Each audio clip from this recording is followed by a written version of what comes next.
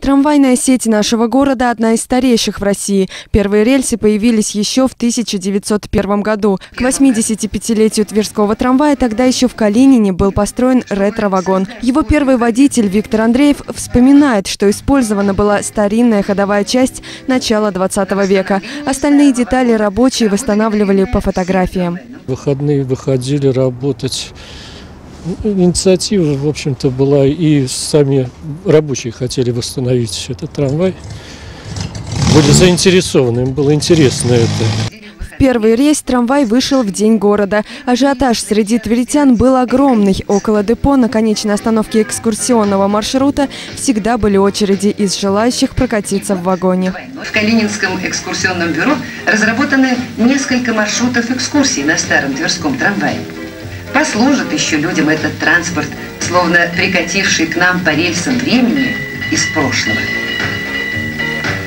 Но служил он людям не так уж и долго. Подарок, над которым трудились рабочие, в итоге городу оказался не нужен. Вагон продали, а в 2000-м установили в центре Твери на улице Трехсвятской в качестве торгового объекта. После этого арендаторы трамвая менялись один за другим, а вместе с ними расцветка и рекламные объявления на боках вагона. В итоге копия прадедушки Тверского трамвая уже мало походил на знаковый объект.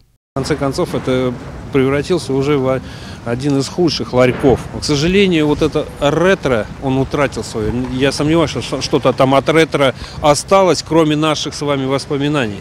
В конце концов, администрация города вынесла предписание убрать нестационарную торговую точку. И в ночь с 4 на 5 февраля вагон демонтировали. Продолжаются работы по демонтажам нестационарных торговых объектов и рекламных конструкций, которые портят внешний облик нашего города. Э, в рамках этих мероприятий данный трамвайный вагончик был демонтирован. Демонтирован самим собственником э, в свете достигнутых договоренностей с администрацией города.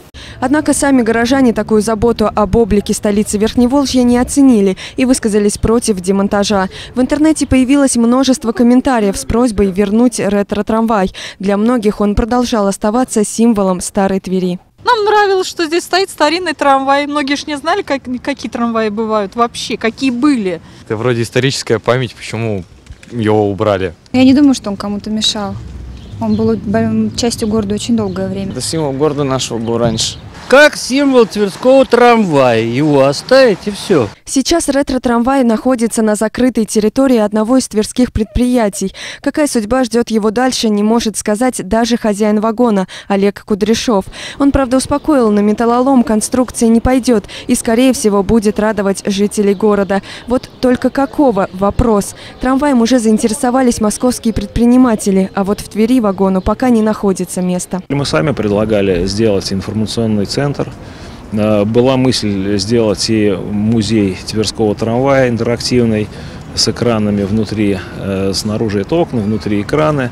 Но дальше идеи, к сожалению, не продвинулись, поскольку, ну, в общем-то, не нашли большого интереса в некоторых городах подобные ретро-трамваи по-прежнему возят людей по экскурсионным маршрутам. В Твери вагон оказался лишним, а при нынешней ситуации его демонтаж и вовсе выглядит символично. Предприятие «Городской электротранспорт» погрязло в долгах, и будущее Тверского трамвайного движения весьма туманное. А теперь и памятника этому движению нет. Светлана Маркина, Максим Андреев, Илья Чечин, РЕН-ТВ «Пилот».